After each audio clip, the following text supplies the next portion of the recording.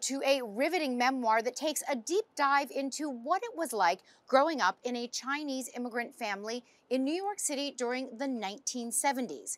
CUNY TV correspondent Ernabel Demillo sat down with Alvin Eng, author of Our Laundry, Our Town.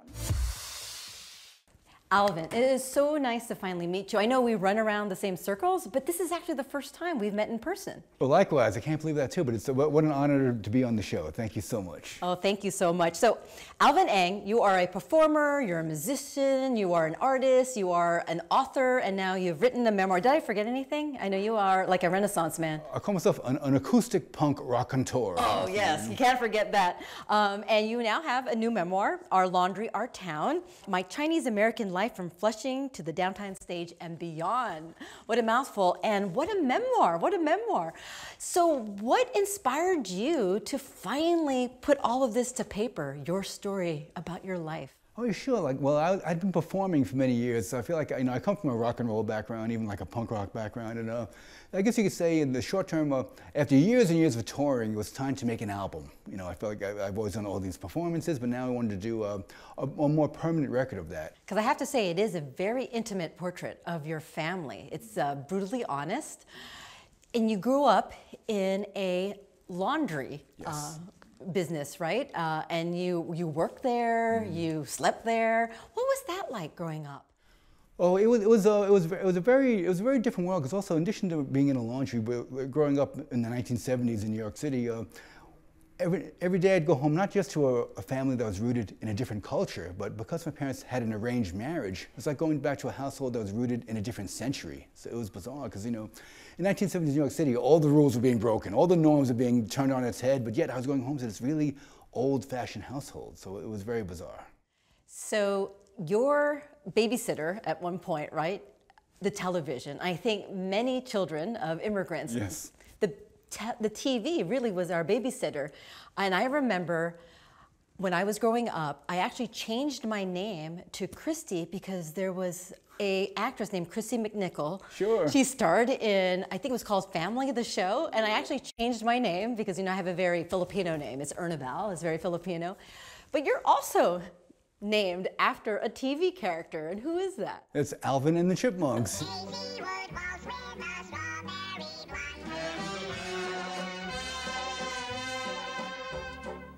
my brother Herman, it would make great symmetry to say he was named after Herman Munster, but actually he was named after that Herman uh, cartoon character.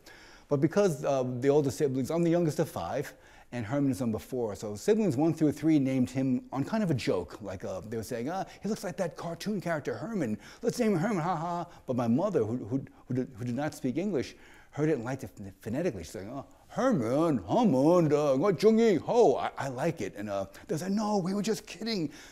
So I guess um, equal time for him, he, they let him name me. And thankfully, his favorite TV show was Alvin and the Chipmunks and not like Leave It to Beaver or Captain Kangaroo. So I was very happy to be with Alvin. So television is where you found yourself. I mean, yes. it's kind of hard to imagine now, right, with all the Asian representation on TV. But back then, we had Bruce Lee and also right the TV Kung show Kung Fu. you, you could say it was the opposite of uh, instead of must see TV. Like growing up Chinese, I was called, I was called it no see TV. There were, there were, no Chinese on television, so it was like no see TV. But uh, Yes, of course, now we know, of course, as a seven-year-old, you don't realize how problematic it was that, that David Carradine was playing was this, uh, yes, was, was playing this, this martial arts kung fu master, but uh, I couldn't quite grasp the full picture, as, as most seven-year-olds don't. But still, just to see this, uh, this Chinese hero on TV was uh, astounding to me. I was like, oh my God, I'd never seen anything like it. So your book is also a history book. It's a history lesson. And you talk about the Chinese Exclusion Act. Mm -hmm. How did that impact, you know, your family, the Chinese Exclusion Act, which we don't even think about as impacting a family in the 70s, but it did. I feel like in writing a memoir, you really want to uh, hopefully uh, see where your, your personal narrative, your family narrative ties in with the, the larger narrative of our times. And uh, growing up, you know, Chinese American, Asian American, when we did, the Chinese Exclusion Act was the first and God help us the last American law that made it illegal for one race of people to become citizens here. And on so many levels, it impacted my family. Just to, even the name of our laundry was the, the Fu Jie Chin Chinese Hand Laundry, but yeah, we're, we're an Ang family. That was my, uh, my father's paper name, how we got into the country. And just we, we thought we thought it was just more of a cultural thing. Realized oh, a lot of a lot of Chinese, probably Filipinos too, like a like why are we so shy? Why do we, why do we only socialize with people in our circle? And then you realize that's not a cultural thing. It was a, a legal thing. Like a, growing up under the guise, if you will, or the cloud of the Chinese Exclusion Act, they had to live this uh, under the radar existence. They only socialized in safe circles. Well, my parents are very insular. They, they, they, never went to a PTA meeting, never did anything on the block, and it's like, what? I guess we'd say, like, what's up with that? So, uh, so that, that was a huge way that the Chinese Exclusion Act really impacted our family, just the, the way we socialized and saw the world. Did you realize that now as you're um, you know, watching the news and what you have written about the past, thinking that that was the past, that it's coming back again, some of that racism and discrimination? Tragically, it's so true. It, it, it really is. It, we thought that sort of, a. in some ways it's even worse, because at least when I was growing up, people would open the laundry door and scream all sorts of epithets like Chinky Cho, go home, and you know, no Tiki, no Shirty, Charlie, can you speak English? But uh, as awful as that was, those were just uh, verbal attacks. Now it's obviously going to these, you know, these tragic physical attacks and beatings. But I think the flip side of that is we always, um, we always loved the great Leonard, I can't believe we're still saying the late great Leonard Cohen. He always said, two things. There's fine wine in every generation, and there's a there's a crack in everything. That's how the light gets in. So even though we are the Asian community is, in some ways, it's never been more under siege than it is now. Um, I think the other side of that is, I think in many other ways, the Asian American voice, the community has never been stronger. Like just from the perspective of theater, like in the 21, 22 season, they've been over like 10 Asian American theater productions. So I think there's a lot of, uh, we are fighting back, not just on the streets, not just standing up for ourselves, but also standing up through literature, through the arts, and really, I think telling our stories and really giving us ourselves a, the role models that we did not have when we were growing up. Just, I think that that is a, the best combat for all the anti-Asian hate happening now. You know, speaking of, of your mom and dad, mm -hmm. you're mm-hmm. quite honest in your memoir. You know, they had a very volatile relationship. Yes. And you write about your father hitting your mother and also your mother disappearing, you know, for stretches of a time. Can you talk a little bit about that and how that sort of informed you as a little boy and also as an adult now? Sure. Um, what I guess when, you, when you're very young and, and you see your, you know, your parents fighting, ways that, that led me to always seek alternative worlds. And that I get, first led me to drawing pictures and ultimately led to me writing. And just, uh, just I could not deal with that, that violence. And then when my mother would disappear, I've been thinking about that and, and writing about it. And, and, I guess when all of a sudden your mother's out of the picture and, and I guess the primary reaction was it made you think of mortality way too young for a young kid. You think, oh my God, my, my mother's gone. Is she ever going to come back? And I, you know, I already felt so different. And every customer that came through the laundry door, they, and uh, they had what I thought were like regular American names. And uh, it, just ingrained in me even more how different our family was my father died when I was very young, when I was 14, so that made me have a very different relationship with my mother, just seeing what she went through with my dad and then her being a single mom in my teen years. So it really made me see things very differently, just, just, just in those ways.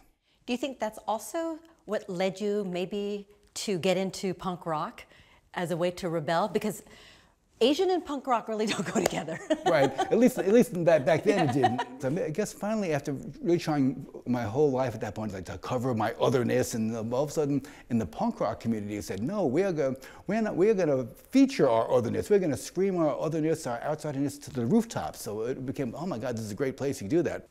Well, you know, I did want to ask this one question that you write in the book.